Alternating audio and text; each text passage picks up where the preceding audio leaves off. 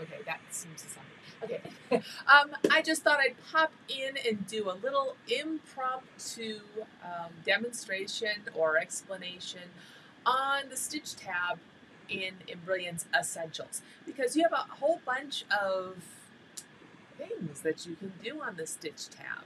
And I have been paying attention to a couple of the posts that are in the Brilliant and Brilliance group. If you're not a member of that group, you should join as it's very helpful to get um, useful information on all things Embrilliance.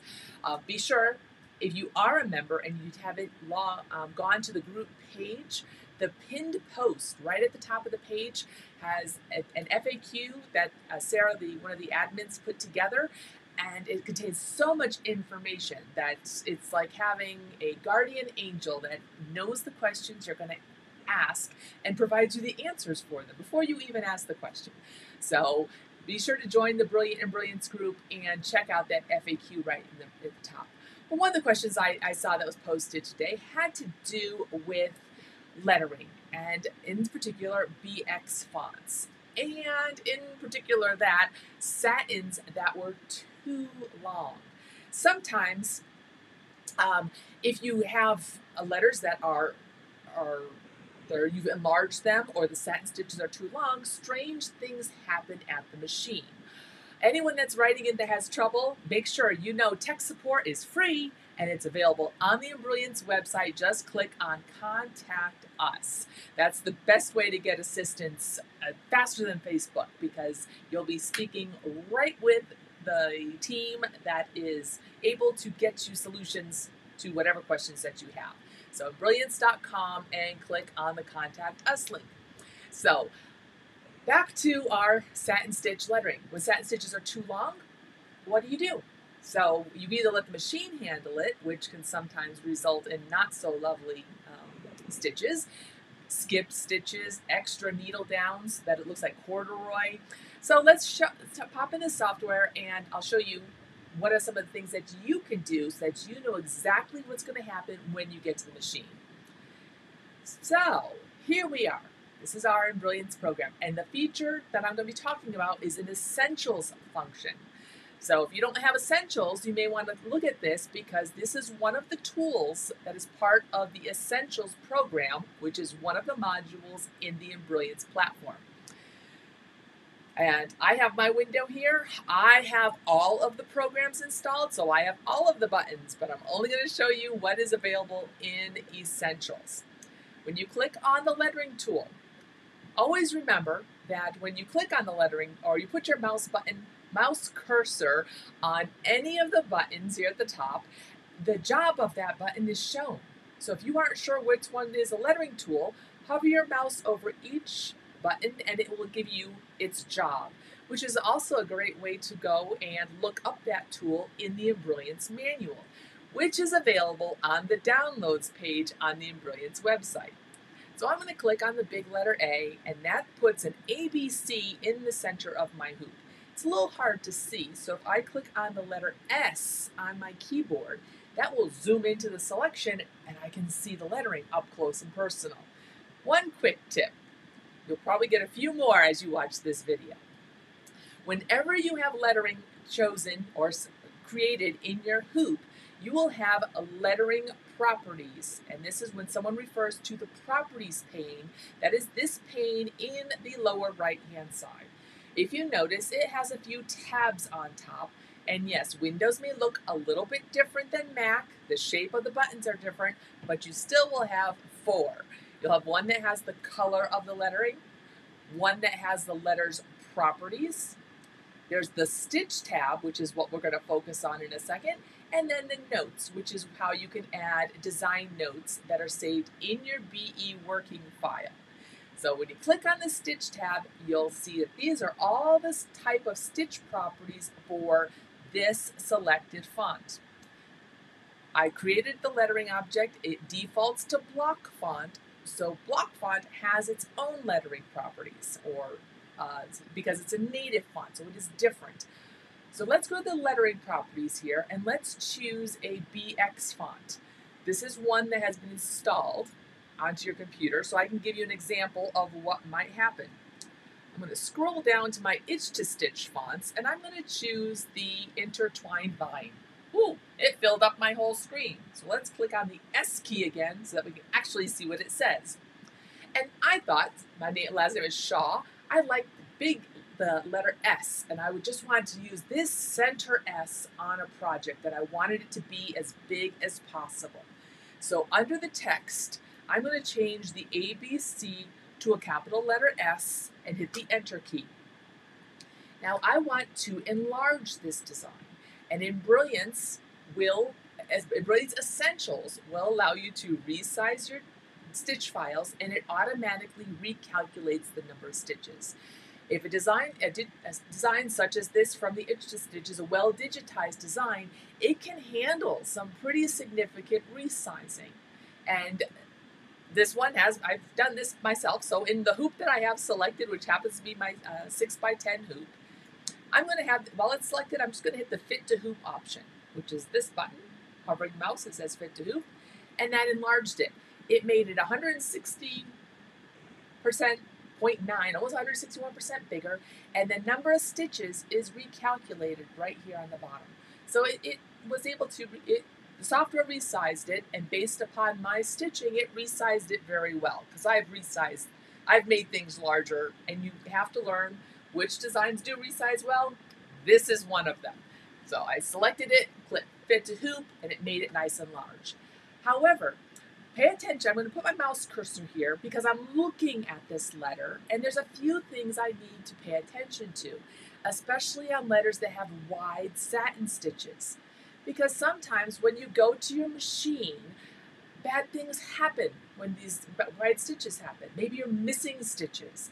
Maybe you get extra needle downs and it creates a corduroy effect. You're just, you, you're not sure what's going to happen until you get to the machine. Now, one thing to pay attention to, or how do you know where there could be a problem? Well, we're going to measure the stitch because an embroidery machine really doesn't like stitches that are larger than 10 millimeters. That's just what happens. So, how do I know if any of those stitches are longer than 10 millimeters? Pay attention to this part of our status bar. I'm going to click on the little measuring tool I'm going to zoom in so I can actually see this S. So I'm going to click the S key. I, I, I, I'm going to zoom in with my little slider bar. Oh, I can't do that with my measuring tool selected. Let me just zoom in because I want to measure these wide stitches. So let me click my measuring tool, put my mouse cursor here. On Windows, the cursor looks a little different. It's not a ruler. On Mac, it's a ruler. On Windows, it's different, but it works the same. I'm going to position it on one side of the stitches left click and hold and drag it across. You see I have like a little dashed line across from it? And when I put that on the other side of the stitches there, do you see on the lower status bar where I was mentioning for you to pay attention before, it says the length is 12.7 millimeters. That's just a crazy number. So I'm pay paying attention to down here. So left click, drag, 12.6, depending on how accurate you are with your dragging. Still, 12 millimeters. If that stitches on your machine, it's probably going to be the kind that your fingers can get caught under because that satin is just way too long for that area. So let's get out of my measuring tool. So I don't not going to measure anymore. And the first thing I'm going to do is change the color so that's a little more obvious. I'm going to click on the color chip, click on the color here, and I'm just going to choose a lighter green so that the threads actually um, show up more on the screen. Because you can see this is a true satin stitch. The needle is going to go from one side to the next side, back and forth. Unless your machine doesn't like that long stitch, and then who knows what's going to happen. Well, on our Stitch tab, when you have a lettering object selected, there's this option here that says Limit Satin Length. Make sure I'm not in the way here. Right now it says none, and that's the default. So for each lettering object, you can tell the software what you want to have happen. And right now, nothing's going to happen. The machine's going to handle it. Well, if I go to this pull down, you'll notice that there are multiple options. Light anchor, heavy anchor, length limit, and split is the very bottom one. a lot of times some of the machines will do the split option. So let's just show you what happens with that. If I choose split, you get a corduroy, you get that actual number. And that split is based upon this length limit. So the software says every time you find a stitch that's longer than eight millimeters, I want you to split it in half or in thirds or whatever into eight millimeter sections at least. So that's one option. And it's not a bad option because if we zoom out, this could be an artistic look that you're going for. Maybe that's what you want it to have happen. It is an option, but it's just giving you or telling you that that's what happens. And you can set that length limit to anything that you want. If you want to be really short, that maybe add more. So play with this. Do a test sew. See if this is something that you're interested in having the look for. I'm going to put it back up to 8 millimeters and show you a different option. 8.1. This one, let's go to light anchor. Just to go from the bottom, we're going to go to the top, light anchor. What this does is almost creates a feathered satin. So it still has a longer length but it's not so obvious that there's needle points going right down in the center. It's giving, it's basically anchoring every few stitches so that you don't get only long, um, long loops. Okay, so it's only activating on stitches in a stitch-based BX font that has um, whatever this length is. So I have it set to 8.1. If you have it set to a smaller number, that adjusts how, when it's going to put that anchoring stitch. This will be the closest looking to a true satin without the extra loopies. Underneath the satin length there, you have light anchor, and we also have a heavy anchor, which is adding more anchoring stitches. So if you think about shine, and I say shine, reflection. And we know that satin stitches have a lot of reflection. That's why we love them because they just are nice and long and the light hits them and throws off. Well, light anchor will still have some of that, more of that shine, but it will not be loopy. A heavy anchor might have a little less shine, but it's going to be more secure. You're going to want to do a test so to figure out which one is the one that works best for you. The other option that's listed here, the final one, is the length limit. And when you have the, the difference between length limit and split, they're very similar, but they're different. Okay? What, what do I mean? If you have a split, anytime the, let's go back to split here. Oh, sorry, I have stuff in my way. Split every time it finds a region that is larger than this value, it splits it. And right down the middle, boom.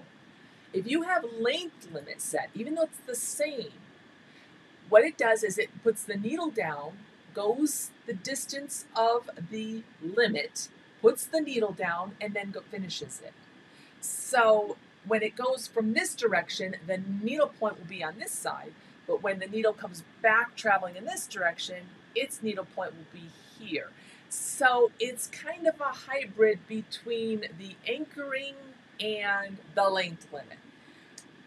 So, and these are all customizable by you, and you'll want to figure out which one works for your project at hand, which is the beauty of the test sew, because there's not one value or one number that's going to work best for everything. Machine embroidery is an art form, and Embrilliance Essentials gives you the customization features for the art that you want to create. Now, just as a, a notice, if you are not using a stitch-based BX font, so let's let me click on that lettering object again.